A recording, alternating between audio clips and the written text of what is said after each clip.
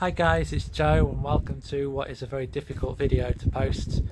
Um, this isn't my first time recording it and I'm still not sure whether or not it'll make it to the internet. Obviously if you're watching it, it has. Um, I'm a Scunthorpe United fan and if you're watching this, chances are you are as well. And you will have just heard yesterday that Scunthorpe are being kicked out of Glanford Park, the, the stadium since 1988, the only stadium I've ever known. Um, and they'll potentially be playing at Gainsborough Trinity, although Gainsborough Trinity have said that this is news to them. They, I think the gist of what they've said is that they've uh, had an agreement in principle, but nothing concrete.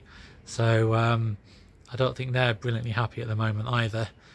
So this is situation, um, and I'm scratching my head really trying to understand how we got to this point because in January, um, a guy called David Hilton came in and um, I know he doesn't want us to make it about him, but the end of the day,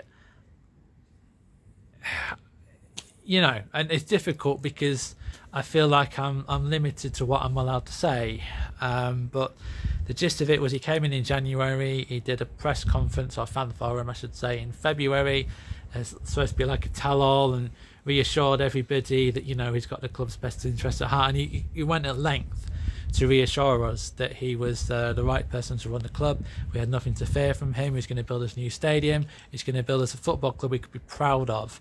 And uh, I took him at his word because I take a man at his word, and um, I believed him.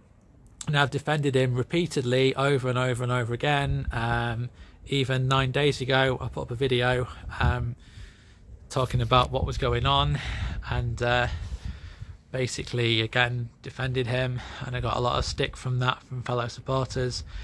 And within a couple of days really the situation had changed.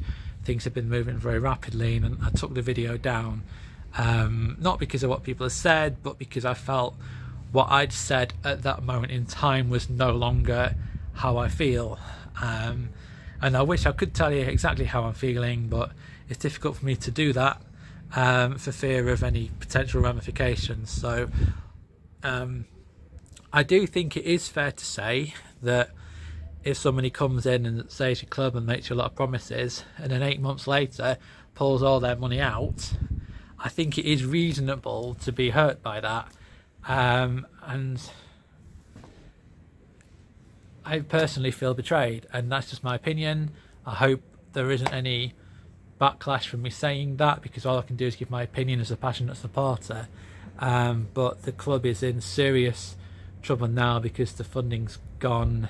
Um, and we've been told again, you know, games are moving to a different county, and we've been told by the club that we need to all um, keep going to the games because if we don't, um, you know, a fall in attendance attendances might mean even more cuts than the ones that are on the way, and people are concerned that that could mean cuts to the players' budget. But it's, it's difficult to expect the same number of fans to turn up when you move to a different county. Um, certainly difficult for me. You know, I work and um, sometimes when I finish work, there's enough time to get down to the ground at Glanford Park and watch the second half of the game. Now that's not going to be the case, and then there's obviously the complication of night matches. It's it's quite a journey from where I live, um, so it's difficult. It's very difficult, and um, my fear is this is the beginning of the end for the football club. Uh, you know, there's been we're told a lot of people have been interested, but when they've actually looked at it, there's just too much to overcome. You know, the fact that the stadium's owned by a different party, the fact that um, the club is still racking up a lot of debt. Um, you know, there's a lot of issues there, and we've gone from a promotion battle uh, to a survival battle um, again. And um, there's only so much I can take. I'm a human being.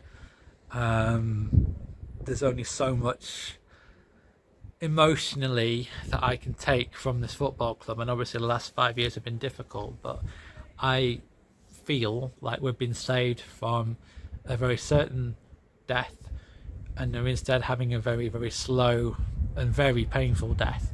And that's how I feel right now. Um, So tomorrow there's a game at Glanford Park. That will probably be my last ever game at Glanford Park because of a family commitment uh, in a week's time when I'm not I'm not going to be in in the area and um, that puts me in a very difficult position because I don't know whether I can be there at Glanford Park or not. Um, that's causing a whole other lot of stress. But either way, um, in uh, what nine days' time, um, I won't ever see us play at Glanford Park anymore. Um, and something happens when you take your football team out of town. A little bit of that club dies um, because it's supposed to be Scunthorpe United, and again, if we're playing in Gins- Gainsborough, possibly training in Ilkeston or somewhere else, I don't know. Not, that's not been confirmed. I'm just guessing, but is it really our club anymore? Um, so that's where I'm at. Um, I wish I could say more. I feel like I have to watch my words. Um, hopefully, I can be at the game tomorrow. Um, depending if they'll let me after I posted this video. But uh, that's where I'm at. Kind of feeling broken, uh, betrayed, hurt. Um, you know, and it's been a series of things over the last 10 years, bad decisions, um, that's left us where we are. But I'm um, struggling today. Um, I don't know what's going to happen next. All I can really do is express my feelings and um, hopefully I'll be alright doing so. So if you're a Scunny fan, be kind. I'm only giving my personal opinion. I'm an honest guy. I wear my heart on my sleeve. Um, know there's an awful lot of arguing going on, and understandably so, because everybody's looking for somebody to blame. Um, you know, I think certainly what happened under the old regime hasn't helped. Um, but like I say, at the same time, if, if a lot of promises have been made and then a few months later that's all gone, you know, and, and people on the outside seem to be saying, well, it's supporters' fault. You supporters have said things about your new owner and driven him out of town, and that's completely untrue. I know some awful things were put on social media. Um, excuse me. But I'm pretty confident it wasn't Scunthorpe fans that posted them. And even for the sake of argument, if it was, I don't think they were true fans. And it's certainly not representative of the majority of us. So I feel like we've been demonized by the outside world to a point. Groups of people saying it's on you, it's your supporters' fault. No, it's not. Um, because a lot of them, including me, put our necks on the line and defended the chairman repeatedly. Um, and we shouldn't have done. Maybe, perhaps.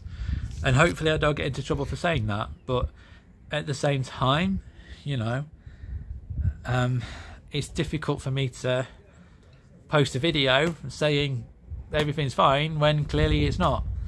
So I don't know what's going to happen in the future. That's where we're at. Um, hopefully I don't get banned for posting this, but end of the day, we'll see what happens. Um, but I just felt I had to post something today. It's been going round and round and round and round in my head and driving me a little bit crazy. So whether or not posting this helps, I really don't know. I don't know what else to do to be honest. I really don't know what else to do. Um, so I don't have a lot of money, so I can't just say here's some money to make it go away. I mean, I give the club what money I can at the minute anyway, and you know, but that's where we're at.